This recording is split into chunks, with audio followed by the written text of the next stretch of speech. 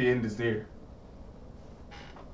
All right, Infinity War What was discussion time, yo. Okay, it's been a while. We obviously have been holding out, doing Infinity War for a good reason.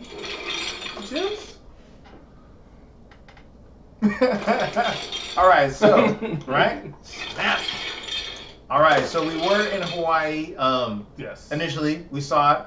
We loved it. Amazing. Amaze balls. Just wow. Wow, wow, wow. Wow. Okay, now right off the bat, Ian, does this film, Infinity War, Avengers Infinity War, does it hit your all time comic book film? Or does it just rank in the top five? That's a hard question. I mean, the build up, the thing. I mean, it's it's probably for sure top three. I gotta really sit down and think to go if it gets the number one spot. But it's top three for sure. And it's if the ten year anticipation for it just makes it like up there automatically. And it, it's hard to say I have ten years of anticipation for it and it still live up for it. It still lives up to the hype, yo. Pinky finger. Um, yes. So I mean, after that long, ten years, eighteen films. Bravissimo. That's all I can say to that. yes. Oh my goodness. Um, I know everyone has raved and talked about it um, time and time again, so we'll get right into our quick review of it, uh, and then go into a little bit detail. We'll do a little bit more at a different time on a different video. For you though, what were the most compelling moments of Infinity War for you? Uh, a lot of times it was just the meetings. Cause like if you think about like all these movies they have, Oh, the crossover moments. yeah, the crossover where everyone's just meeting for the first time. Because I mean, think about it, you have 18 movies, and this is the first time some of these characters are actually meeting each other. Yep. You know, the first time you know Thor's running into someone, or the first Guardians of time the Galaxy. Guardians of the Galaxy, or Iron Man sees someone new. It's just like, oh, Doctor Strange. yeah, it's like these first meetings that are like they have some humor in them because like I've never seen these people before. Even though there's that awesome exchange between Yeah. Tony Stark and Doctor Strange about ice Yes. cream. and, and, and it's like they find ways. Yeah, it's still dire, and they still throw in comedy for the right moments, and uh, they keep that going throughout the movie, which is working in terms of having to be like, who are you? Why are you here? What are you doing? And who's this guy? They do a really good job of that. Really, really done well. Um, now, what do you think this film could have done better? I know that's I know that's a tough question. Oh, to do Tough better. question. Um, I think the Thanos, the children of Thanos, could have been better. I agree. like they were there, but I don't feel like at any time, except for one, none of them really posed like seemed like a pose a real threat. They were kind of just there and like, okay, we're fighting, but they didn't seem any different from the regular fighters, as opposed to one that actually seemed, hey, I'm way stronger than you guys. Screw you guys, like I can do what I want to. Right. But the rest of them kind of just felt on par with everyone else, and not really like they're oh they're really d- difficult to beat. They didn't really give off that like they're children of Thanos. Yep. But I think it's hard to have them here with Thanos, and it's just like you got to get them out the way to get to Thanos. Yeah. The, was it the Maw? Yeah. Yeah. The Maw's the only one that, uh, which is basically he was kind of like, like universal mystic wizard. I'm not Yeah. sure exactly what he was, as far as like his labeling. But I think that's a category I'm gonna put him in just because he could rival Doctor Strange's powers. Um, he's the only one that legitimately posed a threat um, from what we saw, and he, he got taken out Yeah. a la Aliens, which was awesome. Thanks for the pop culture reference, Spider-Man. Yes. Um, and then you have, um, uh, was it Black Obsidian? Yeah. And then Um, interesting. I felt underused. Um, while he was strong and everything, his fight was kind of anticlimactic towards the end. So um, he did pose a little bit of a threat, although Spider-Man was easily able to catch his like axe kind of weapon. yeah, like his strength, like in he like, time- makes it seem like he's strong, but at the same time, Spider-Man's like, what? Yeah, like kind of like really easy, kind of. But this is someone that in comic book wise, like he could, he's supposed to like be fighting the Hulk or something. And that's the thing too, because earlier on he figured he would be stronger because Hulk fights Thanos, and he's about to go step in with the Hulk, yeah, and they told him, "Nah, he got this." It's like let him have his fun. Yeah. Um, the amount of people getting killed off. Gonna switch gears real quick because I. Oh wait, no, no, no. Okay, I'm sorry. Proxima Midnight, the female, uh, one of the um, Thanos' children. Um, I don't know. She just kind of her CGI compared to everyone else was like off. Like the way her facial structures were. I, I guess they didn't work, seem to work on her as much or something to me, but she just seemed off a little bit. Sorry. Um, everyone else is kind of a little bit more polished. And the dude who kept stabbing Vision for crying out loud. Yeah. Oh my gosh, he was like his kryptonite for a while there. Because some of his blade, yeah, he got stabbed him like twice. And, And then. I didn't quite understand. They didn't really explain his weapon. yeah, Uh, like what? it's Like, like, it wouldn't let him heal, but I'm like, that's still. four phase. Yeah, but I'm like, it's still you can still use, and you really didn't really use it, but like once, and then you kind of just stopped. And I never understood he could have used his his power on them. He did once, and then dude like blocked it with his. He split it with his, with his Oh, uh, yeah, yeah. staff, Yeah. and then he never used it again. So it was kind of interesting. I didn't I didn't really understand what happened there. But I think maybe his Vision was just weak, and it just kind of maybe weakened his systems. Yeah, don't know. So I think it was uh, just like okay, you have another you know strong character. You're like okay, I can't have all of them in the fight, so I got to kind of move them away because now. It's, And then, uh, speaking of which, Captain America's intro into this film, Yeah. badass, badass. You knew things were about to go down Yeah. and go down wrong for these two when Cap shows up with Black Widow and Falcon, yes. and they wreck shop easily, easily. The little spirit, he was like, hold on, let me catch this real quick. He was like, just catch my. I felt like they should have been playing some 50 Cent in the background. I ain't a killer, but don't push me. Right? That's pretty much what Black Widow tells her. Like, we don't want to, But but we we, will." will. Sam was like, you gonna get this. She was like, you'll never get the chance again. Uh, Vanish. kind of. Wrong. Wrong. Because Scarlet Witch tosses up a case of, ooh, yeah, she gets But- mushed to bits. as by far as the queen was like, what were you doing up there? Why was she up there the whole Hold time? she should be down here. She should be down here. Which, legit, she has a very good point. You have one of the strongest people there. She couldn't. She probably could have took everyone out by herself. Yeah. Let's be honest, okay? Full power. Uh, Scarlet Witch is pretty much she has w- reality warping skills that they just do not mention in this one. But they never, they Or ever. used. They haven't never Right? used it really. Yeah, they only do it um technically. So that's the crazy part, right? Her visions technically are realities that people can see. Yeah.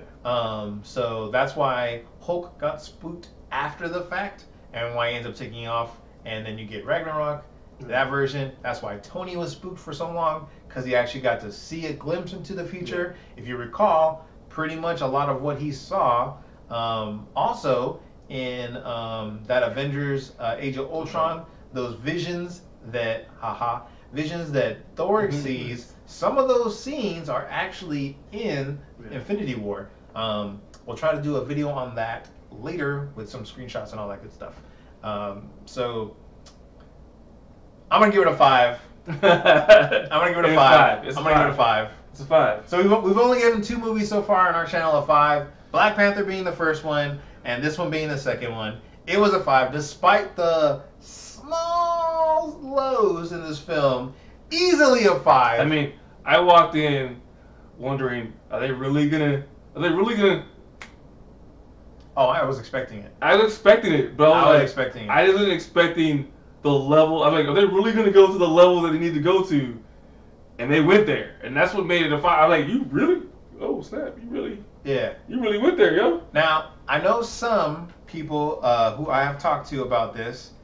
I I am putting up Thanos' villain, the villain Thanos, portrayed in this against Heath Ledger's Joker. I still say Joker. I I give him the dark one as far as an actual full range of performance. I give it to Thanos right now. I still give it the Joker. I, I here's the thing. I walked away from Dark Knight like, dude, Joker killed that.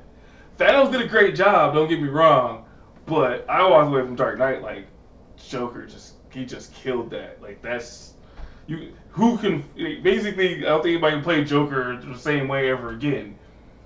Thanos, I mean it's it's a whole different type of like character. They didn't give a range of emotion and a range of like depth to this character and kind of why he is the way he is. But I didn't walk away like Thanos. It, it kind of was a star of the show, but at the same time, I don't feel like he stole the show. Cause to me, my boy Thor stole the show. So, so the only reason why, the only reason why I'm saying this is because Joker is not a character I would ever root for to win, whereas Thanos, you little, I mean, he kind of had a point, but he didn't at the same time. If that hmm. makes any sense. Like he felt like he was keeping balance to the universe. Well, I mean, yeah, it's a villain that, that makes sense. Where, Right. Where it's like you know, Joker's he has, pure he has a reason, and where Yeah. Joker has a reason of I just want to watch everything burn, and you gotta deal So, with it. I'm gonna, I'm gonna go with those are my top two movie villains for right now. I mean, Uh, well, I three. mean, my, my my my top movie villain is Vader, but we're gonna throw it out there. oh, I'm talking about comic book, comic book. Okay, real comic book. Comic okay, book, cool, comic book. Comic book. Uh, now, obviously, there are comics with Vader in it right now, and there were shortly after the film, but there Yeah. were not prior. So we're doing that for right now. all respects to Vader. All respects to Vader. Uh, so comic book movie, comic book movie villain. Uh, I'm going. Those are my those are my top two right now. Yes. Heath Ledger's Joker and Thanos. Although my top three, you have to exactly Killmonger. Killmonger. Boom. So um, because I think Killmonger brings a level of Like he was right technically. which I feel like that was a setup for the audience to understand Thanos better in Right. Infinity War. that that, that, Would you that, agree? that a villain can be right, Yeah. but you don't agree about the methods. And then and then they do almost a similar style of villain in Infinity War, and then you're like, he could be right, but you could. could do it a different way. I mean, it's a messed up way to do it. And then I like how he has like his diplomacy, even for his own homeworld. You would do it randomly. You pick people that were, yeah. you know, like it doesn't matter rich or poor. It's just a discrimination. Yeah. right? Which is different from the comic because in the comic he's literally called the Mad Titan because his ideas are so radical. He's like this, this, this. Everyone go, no, just, Yeah. just kill him. And he was actually killing people to appease uh, Mistress Death. Because that's who he courts. He wants, she wants, he embraces death. Which I thought they were gonna bring Death in when he goes to get the Soul Stone, and it they very this. much seemed like he might have for a brief He's about to meet Death, and I was like, oh, you didn't meet? Oh, okay. Yeah, That's so that's not Death, but okay. So it was interesting. Um, I do like um, the way they did this, yeah. considering they had their hands pretty much tied from the original story, um, as far as what characters they could bring in, what characters they couldn't. They did a very good job, in my personal opinion, uh, where the Hulk is crash landing into the uh, Sanctorium Sanctum in New York. That technically in the comic book is the Silver Surfer. Um, that's a callback to that, Yeah. um, but they did it with Hulk instead, with Heimdall. Um, people getting killed off in the beginning, they let you know they are not pulling any punches from the jump, Yes. which I personally loved. I'm going to use the word loved. I loved the fact that they went, they this went right at you from the jump Yes. on this film. It was From the great get. from the jump. From the jump, Jump. It was like great. Heimdall, what? Loki? What? What And was then- the movie, yo? What's interesting, he said that they killed half of his Asgardians on the ship. So But- that lets you know that another half, maybe the Valkyrie chick, Because he wasn't there, yeah. Maybe and she then got the away. two guys from um, Rock. Yep. Uh, Korg. Korg, yeah. Yeah. And then I forget the bug's name. Yeah. Meeks. Meeks, yeah. Yeah. Meeks. They- I believe those three got away. If very, very likely to presume. Uh, we'll probably see them maybe in the Four. fourth Avenger film. Uh, not guaranteed. Just saying if he does, Chance. you heard him first. Uh, um, let's see. What else do we want to talk about? Anything else you want to talk about for now in Infinity War? Do we want to save that for our next um, like, Um, Easter egg type of thing? I talked about a few already. There's more references I could give you, but this video will turn well, I into mean, a very, there's very no long Easter one. egg, but in terms of, you know, uh, we talk about Thor and just Thor and his whole quest for revenge and uh, going through and and I think that moment where they, they get your hopes up and they take it away, where he comes in and just like, oh snap, did Thor just do it? Thor's the guy. Oh wrecking shop. and then you're like, did he just get Thanos? Oh, wait, what? You should did what? What'd you say, Thanos? Should have. I should have done what? I should have went for your head. What just happened, Joe? And then um, a lot of people have the question. I'll, I'll just go ahead and answer right away for you. If there's any question about this, um, is this all part of Doctor Strange saw? yes. Yes. So this is the one path that Doctor Strange Strange. saw out of the 14 Okay. million. My thing with the strange thing, and this is my theory. Mhm. So all movie, the stone was here until he gave it to Thanos. Mhm. So when he asked to do with Thanos, he saw something just did this and just appeared. Right? My theory is he sent the stone back into time. Personally my own opinion. We'll find out in a year. But I feel like he sent it back into the past. Huh. Okay. Interesting theory. I would like to get into that more with you, but I, I, I will leave that there. Yeah. I'm gonna go with the theory that this is the one uh, path that Doctor Strange saw, and he helped make sure they were set on it. Um, there's a lot of moments in this film, to be honest with you. Uh, I'm still giving it a five, but just saying there's a lot of moments in this film where they could have. There's a lot of could have moments that they probably could have prevented Thanos from getting the stones. Star Lord. Thank you. Damn, Star-Lord. It's all Star Lord's fault. It's all or Star- But where's one thing that too that's going on? Where's Drax? what do you mean? So when they're doing that, Drax is nowhere around. Oh yeah, yeah, yeah. I think he got he got hit because he comes limping in like No, right because he shoots the thing that gets his other arm. He shoots the other arm down and gets his arm stuck and then just disappears. No, Spider Man put the webbing on the other arm. Spider-Man hit the gauntlet arm. No, Drax- isn't he, Drax- he holding it? He he gets the other arm and then he pull he's pulling it and then, then Iron Man grabs it and then he goes and grabs it with Iron Man. So Drax- everyone pretty much lets Star Lord talk crap to him Yeah, and Drax him and whatever. does his little like magnet thing he did earlier with the other arm. Oh, that's right, that's right. And so he's like this, and then Drax just leaves until they get the gauntlet off. Wow, wow, wow. Also, Vision. We could have really. We're talking about one or an AI. Okay. You're not gonna. You're not going to destroy the stone because you want the rest of the universe to die. Well, that's not him. That's her. He wanted. He wanted to destroy it. But even Captain America wasn't on board. Now you know if Cap looked at her and said, "Scarlet Witch, you gonna kill this man," Scarlet still be like, you ain't gonna tell me. she would have done it. He's like, you ain't gonna tell me I bet you she would have done it. Because Cap, Cap runs the show. She still be like, make me. Cap runs the show. make me. I'll make all y'all disappear right now. Just saying, they probably could have done it. Um, but there's a lot of what if moments in in Infinity War, but they don't. It doesn't happen. So can't can't really say, but they could have, but they didn't. Yes. So you and know, then, and then you know the mess up thing. They kind of released the fact that Groot's last words to Rocket was dead. You know. oh, hard heartstring tugger. like really? That's his. That's his last. Okay, you just gonna say. Oh my gosh, it's Spider Man. Yeah. To be honest with you, there's only two meaningful deaths in this whole film to me. You should know what number one is.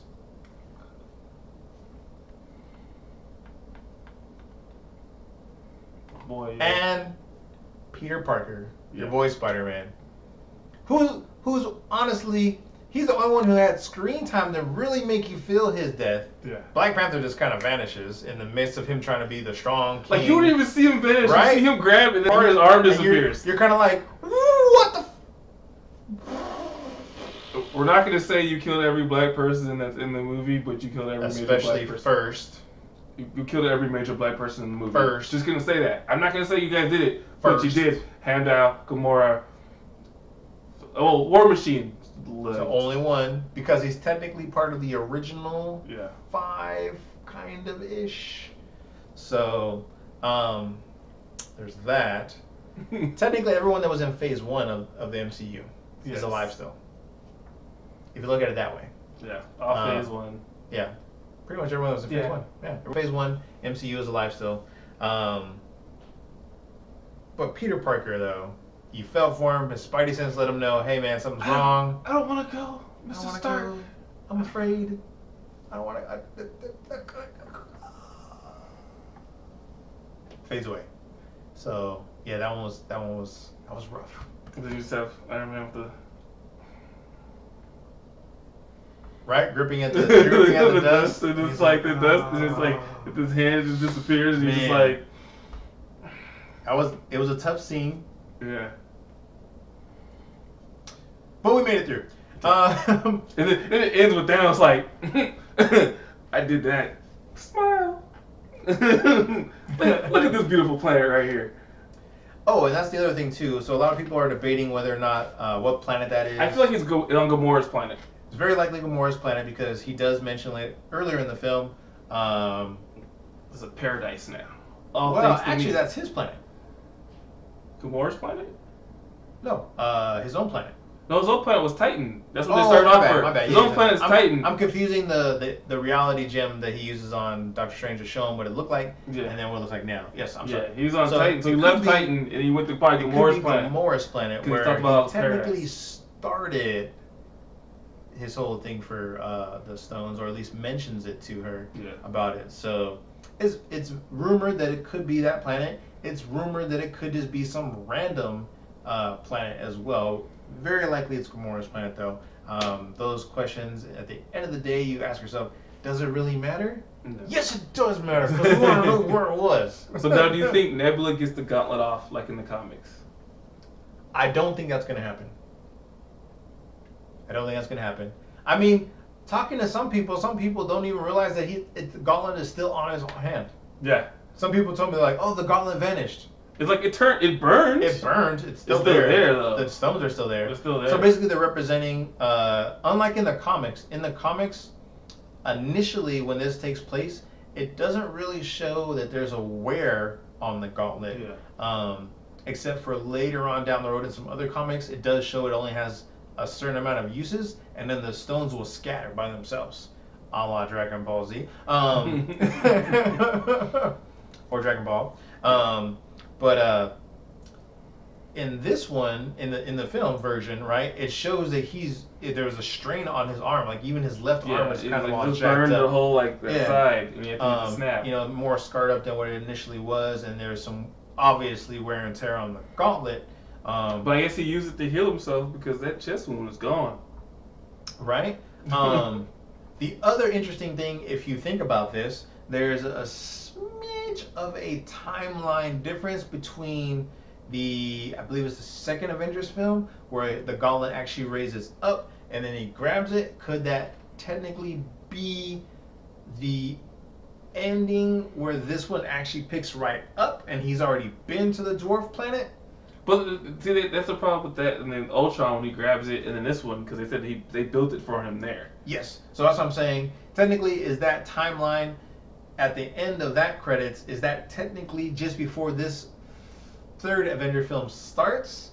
Right. It, it technically would have to be. Which is weird to they work. talk about the fact that they built it when you see it in Yeah, the Thor's. of- Thor's you see it in Thor. For one, the gauntlet's there. But if you recall, and then later says it's a fake. yes, But Hela then- mentions that there are fakes. But then it. it's already means there's a gauntlet already. So why does he need to build one if there's already one? dun dun dun. And then he grabs one, and then he needs another one. plot hole. I mean, I think it's it's just a hard thing where you make all those movies and you're not really thinking of the last one, right? You haven't wrote it yet. Which is interesting though because they did they did pretty much close up a lot of loose ends, if not almost all of them. Yeah. So did a really really good Well, job I on that. It's easy to and, you know get loose ends and kill everybody off. big time. um, so so that was done really really well. Um, like again, we could go on and on. I believe. I didn't realize um, how many characters it was until I actually said like had the list of like everyone that got killed. Oh, I was right. like, damn, they killed everyone, yo. It's like it's like They killed a lot of like people. 16, 12, 13 people. Like what? It's a lot of people in the film. They can focus on less people now in the next film. Very less. A lot less. Well, I think that that's what's gonna happen. There is a time. St- I, my theory. Time stone. and they're gonna try and get the other stones before Thanos. Interesting. I do not think that's what's going to happen. Um, um, my my my take If it on happens, I'm gonna go back and I'm guaranteed I'm gonna replay this and be like, I was right. All right, so we'll we'll leave Ian's uh, prediction. Yes. Uh, I will not give mine currently. I do not. I don't think it's gonna. That I don't think that will be the case. I think it will be something else involved with possibly the Soul Gem. Say it, Uh, yo, don't be scared. I, I just did. Um, Something with the soul gem. So I, I think it, I think it'll have to do with the soul gem, um, and then the the gauntlet in general. Um, I don't think the time stone will be like the contributing factor. I don't think there'll be any time travel in this, but I think something with the soul gem. Uh, I think all those people who vanished, uh, universally, are probably all trapped in the soul gem. that I do think that they're trapped in the soul gem. So I'm gonna go with That I do think. I'm gonna that's- go with that theory. That's why they think they vanished, is because they just went to the soul gem. I'm gonna go with that theory. So but I still think they time traveled because he set the stone somewhere. He set the stone. He set the stone somewhere. so we'll, we'll see what happens. Yes. We'll see what happens. Um, be very interesting though. Uh, once again, Yes. like, comment, subscribe. And again, sorry this took so long to put this one out, but like I said, we really want to give everyone a chance to see it out there Yes. uh, without talking about it too terribly much. We just wanted to talk about so much on this one. Great, great film. Captain Marvel's um, coming, yo. Captain Marvel. Can't wait for some more. Ant Wasp Man, uh, Ant and the Wasp, Wasp Man. is coming up. Wasp Man. Wasp Man. The- the ants. Ant Man and Ant Man and the Wasp uh, is the next big Marvel one coming out. Yes. So can't wait to see that one. So again, like, comment, and subscribe. Share it, everybody. uh, Share it. share it everywhere. Over. Everybody. Everywhere. To all of them. And we're out.